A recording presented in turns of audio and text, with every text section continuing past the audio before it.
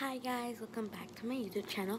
Today I'm gonna show you how to make ice cream because I made ice cream. But mmm super good. Mm. As you see, it has to. It's really good. So I'm gonna show you guys later how to make ice cream.